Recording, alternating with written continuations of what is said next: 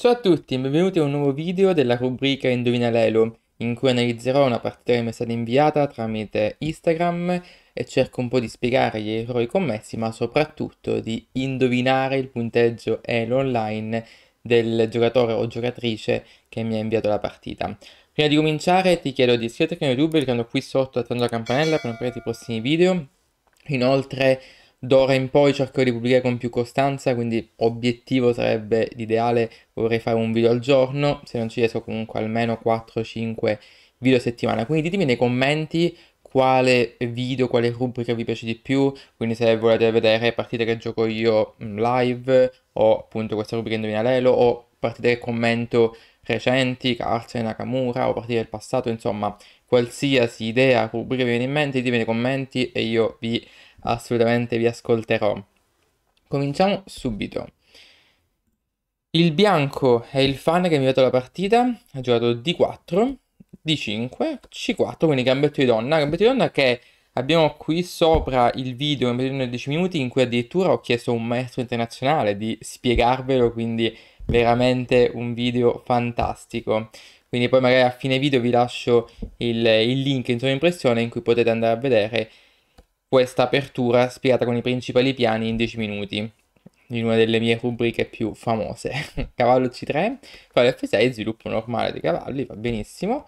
Cambio dei pedoni, ok. Alfiere di 5, mi piace, alla fine inchioda il cavallo. Beh, freccia sbagliata, inchioda il cavallo. E sappiamo che comunque un'inchiodatura è sempre eh, una cosa spiacevole, fastidiosa per l'avversario, quindi ottimo farlo. C6, E3, ok, alfiere F5 si continua con normale sviluppo.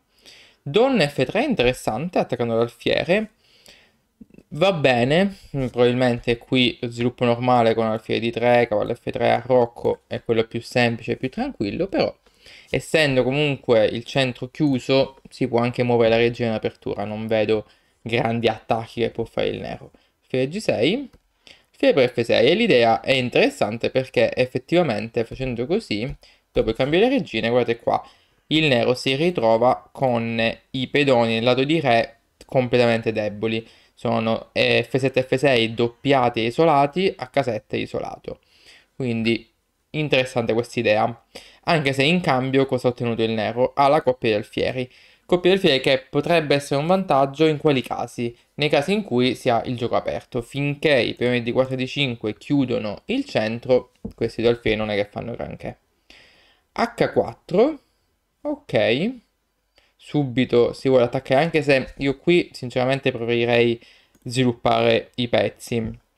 Per esempio anche a Rocco Lungo, idea alfiere di 3, così subito si va a, a cercare di cambiare l'alfiere, potrebbe essere interessante, quindi togliere coppia alfiere, oppure ancora cavallo F3, idea cavallo H4 e poi si cattura l'alfiere, pure qui è interessante, anche se si toglie la, la doppiatura, potrebbe essere un'idea.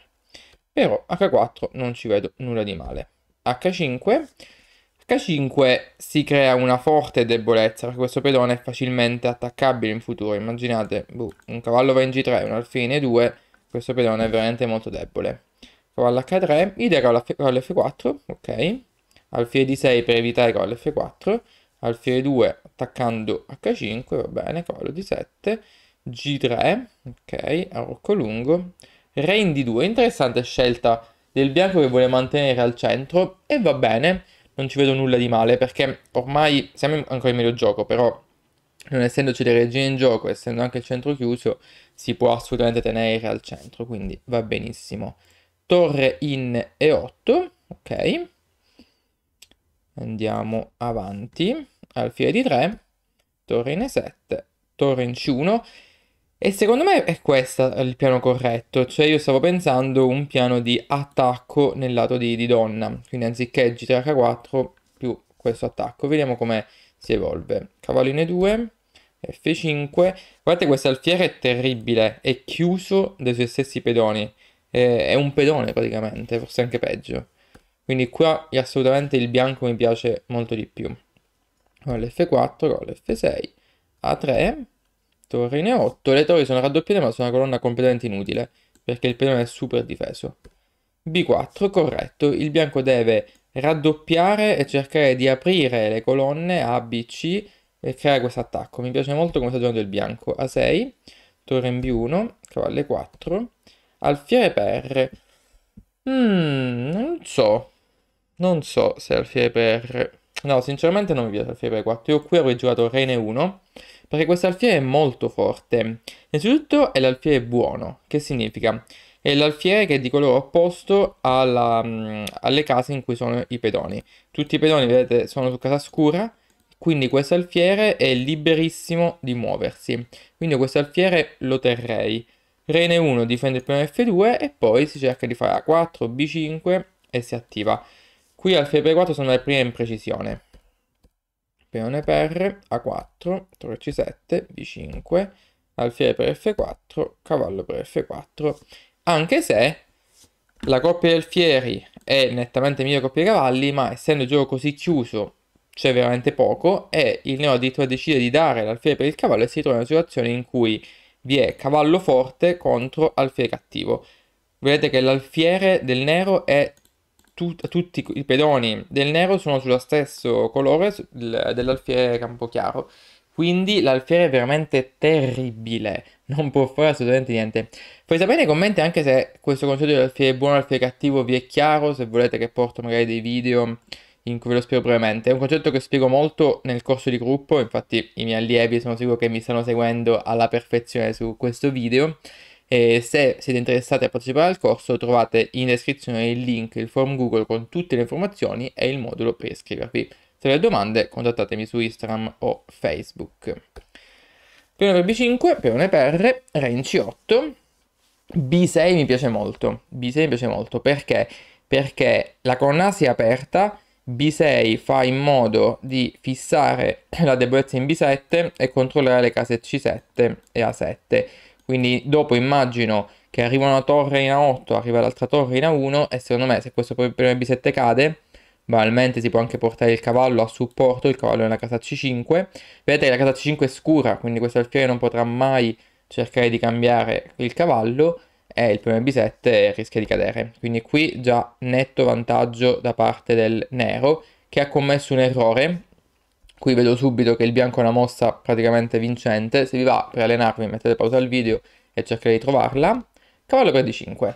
Mossa corretta che il bianco trova subito. Perché? Perché il peone C6 è inchiodato. Torre in E6. Anche qua altro errore. Se volete pausa il video. Cavallo C7. Il bianco gioca alla perfezione. Qui io direi che siamo anche sui 1800 come punteggio elo. Cavallo per, pedone per, torre C5 e qua già la partita è nettamente vinta.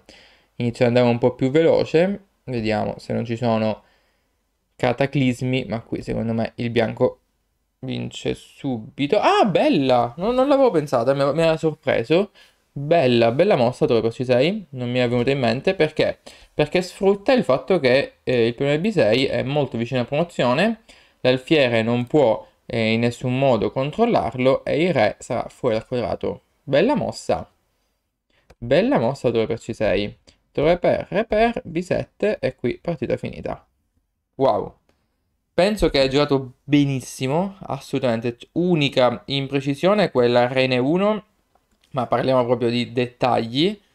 E a questo punto sono molto molto in difficoltà per mh, mm, trovare, provare a indovinare il punteggio Elo, che però secondo me siamo sicuramente ad un punteggio elevato, quindi sicuro sopra i 1700, proprio lo do per assodato, anche se poi sbaglierò come nella maggior parte dei casi, però per come hai giocato questa partita, sicuramente secondo me sei sopra 1700. Allora, prima di cliccare, provate anche voi a indovinare, magari ditemi nei commenti, quindi commentate in questo momento e dite quale punteggio secondo voi ha il bianco, che è il fan che ha inviato la partita. Se volete anche voi partecipare a questa rubrica, scrivetemi su Instagram o Facebook e inviatemi il testo delle mosse, quindi banalmente dovete fare un copia e incolla da chess.com licenze del PGN, poi il colore in cui siete, quindi se siete bianco o nero, perché io non, non, clicco nel link, quindi poi vi chiedo anche il link, ma io non clicco nel link finché eh, non analizzo, quindi solamente in questo momento in diretta con voi, clicco nel link, quindi dico punteggio 1800, 1800 per me ultima risposta, clicco nel link e vediamo qual è il punteggio. Eh, 2000. Eh, effettivamente po- potevo dire anche 2000, sì, sì, sì, sì. No, ma um, assolutamente corretto. Ho detto 1800 perché fino ad ora penso che è la prima volta che un 2000 mi invia una partita. Mm, la maggior parte delle persone che mi segue, se ho capito bene, ha un punteggio inferiore a 1800-1700 e quindi per questo ho detto 1800, ma hai giocato assolutamente da, da 2000. Partita perfetta. Quindi super complimenti a um, Lord Enzo 093. Fammi sapere nei commenti se ti è piaciuta questa um, analisi di, di, questa partita. Hai giocato benissimo e fate sapere se il tuo punteggio è anche magari aumentato via via. E um, ci vediamo alla prossima. Vi chiedo di eh, lasciare un like se vi piace il video, iscrivetevi a YouTube e di guardare il gambetto in 10 minuti che vi lascio qua in sovraimpressione. Ci vediamo alla prossima. Ciao!